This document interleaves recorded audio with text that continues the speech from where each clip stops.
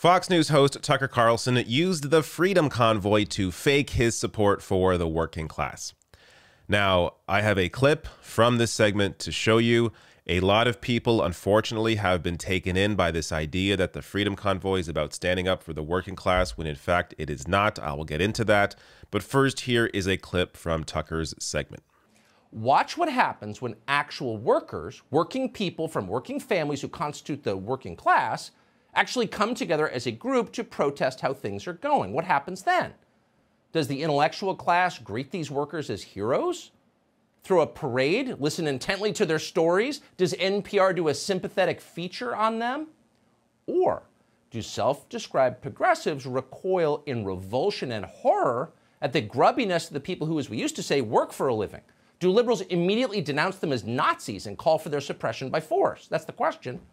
What's the answer? Well, ask Trump voters what happens. They'll know. Or consider what's happening right now in Canada. Thousands of truck drivers have descended on Ottawa, the capital city, to protest the tyranny of Justin Trudeau's government. Justin Trudeau does not like truck drivers. He thinks they're revolting. Justin Trudeau likes private equity barons and tech moguls and other people who give him money. All right, so this is a great example of what Tucker does to try and fake support for the working class. He will take certain things that a lot of people agree with, like Justin Trudeau is for private equity, is for, you know, capitalists, is for the wealthy. I agree with that.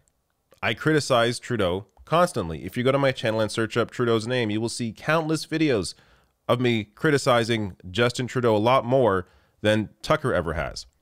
But that doesn't mean that just because you agree with him on this, that this working this this uh, convoy is somehow a working class convoy of truckers. So let me get into how dishonest this is. First, quickly, just on to put a, a pin on the, the Tucker point here. This is a great piece in Jacobin. I link to all my sources below the video on YouTube always, so you can check this out. Tucker Carlson, your boss's favorite populist. they go on to write here. Tucker Carlson likes to style himself as a populist, but every time there's a fight over something that might actually make life easier for working class people, he never misses the opportunity to take the side of big business and the rich. And some examples here from their piece, after they break it down, they say, so let's review.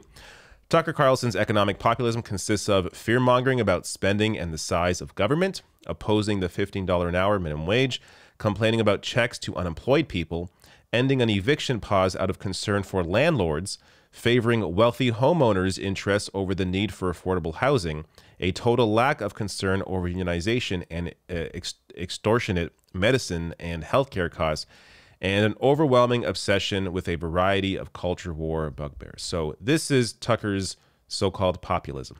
He is not a fighter for the working class. He is, you know, of course, he's incredibly wealthy. He comes from a wealthy family He's set to inherit a lot of money. But even apart from that, you can have somebody who's very wealthy and fighting for the working class. But Tucker does neither. He is incredibly wealthy, is a, is very privileged, and also pretends to fight for the working class. He's smart enough to know how to play people. He does that better than anybody on television. But he plays to it while also at the same time not actually supporting the working class. So let me get into the actual convoy here, what it actually is. So, first, here some uh, responses from some working class groups, people, organizations that represent truckers that are truckers that are made up of the working class. Teamsters Canada here with their statement on this. Teamsters is proud to represent over 55,000 professional drivers from diverse industries across the country, approximately 15,000 of which are long haul truck drivers, 90% of whom are vaccinated. The so called Freedom Convoy and the despicable display of hate led by the political right and shamefully encouraged by elected conservative politicians does not reflect the values of Teamsters Canada, nor the vast majority of our members, and in fact has served to delegitimize the real concerns of most truck drivers today. And by the way, I will get to what those real concerns are, that of course are being ignored by the convoy because, again, the convoy is not actually made up of working class truckers. But more here, you also have the Canadian Trucking Alliance. They put out their statement saying they are uh, against this convoy. They do not support and strongly disapprove of any protests on public roadways, highways, and bridges. CTA believes such actions, especially those that interfere with public safety, are not how disagreements with government policy should be expressed. So they go on to, to basically say they are also against this convoy. But later on in an update, they also say this while a number of Canadians are in Ottawa to voice their displeasure over this mandate, it also appears that a great number of these protesters have no connection to the trucking industry and have a separate agenda beyond a disagreement over cross border vaccine requirements. As these protests unfold over the weekend, we ask the Canadian public to be aware that many of the people you see and hear in media reports do not have a connection to the trucking industry. So when the Canadian Trucking Alliance comes out and says, hey, this is not us, don't be fooled by these people, these are the actual truckers, it should give you pause to at least understand that maybe there are some people, I mean, definitely there's some people that are wrapped up in this that are, have been fooled by this, but there are a lot of people there who simply do not care at all about truckers and are simply there for their own agendas. More here. So this also gives you an idea how this is not about the working class. The vast majority of people are working class, while the vast majority of people are opposed to the convoy, with only 22% supporting it. So you can see the breakdown here strongly support is at 12%, support is at 10%, opposed 20%, strongly opposed 47%, don't have clear views 11%. And there's also almost 9 in 10 think protesters have had an opportunity to make their point and should now leave town. This view is shared across demographic, regional, and political groups. Even 4 in 10 of those who support the convoy say it's time for them to leave the city. So you see here, the vast majority of people who are the working class are not in support of this so called working class convoy. Next, this is where we get into who is behind this convoy, the organizers, their motivations. So a few pieces here. Again, there's a lot more information in the actual full pieces, but I'm not going to, you know, go through all the data here. But I will link to it below the video in the description box on YouTube. But here, this is from Press Progress. Anti-vax convoy organizers previously targeted picketing oil refinery workers in Alberta. Yeah, a very pro working class convoy here that targeted actual picketers, actual union members, actual working class workers uh, a couple years ago. And so the exact same uh, organizers behind that are behind this. So here they reference um, James Bauder, uh, who created Canada Unity, the group behind the Freedom Convoy that has shut down Canada's national capital. Bauder has also authored the group's rambling memorandum of understanding, which calls for de for deposing Canada's elected government. Two years ago, Bauder was part of a similar far right convoy that mobbed a picket line and threatened to run over locked out oil refinery workers. Yeah, real working class guy here. You also have these members. So, in addition to Bauder, other Freedom Convoy organizers such as Pat King, Tamara Lich, and BJ Litcher or Litcher have a history of associating with hate groups and expressing racist and anti immigrant sentiments. This could explain why the Freedom Convoy is strangely silent on labor issues facing immigrant truckers, who now make up over one third of truckers in Canada. Over half of truckers in major cities like Vancouver and Toronto are South Asian immigrants. And on that point, here we get to the actual issues facing truckers.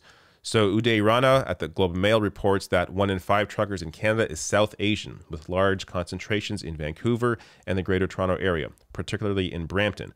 South Asian drivers interviewed by Rana weren't concerned about vaccine mandates, but rather about wage theft, poor working conditions, and ensuring that their family members, often living in multi generational households, don't become infected with COVID 19. It's weird we aren't hearing about this. One in five truckers, South Asian.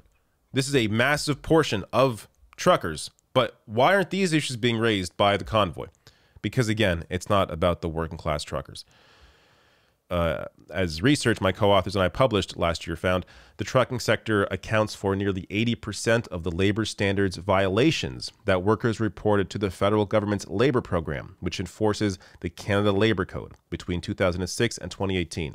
This level of law breaking is even more startling when you consider that only 17% of federally regulated employees work in trucking. Our research further discovered that small businesses with fewer than 100 employees accounted for 89% of labor standards violations between 2006 and 2018, even though these smaller firms employ only 13% of workers in the federal jurisdiction. In short, if you're asking who is far and away most likely to break the law and systematically violate workers' rights in Canada's federal jurisdiction, the answer is small trucking firms.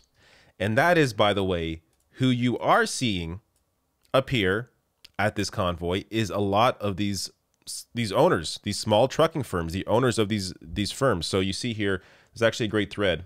Um, I'll link to this below as well. But this guy goes on and on and all the examples.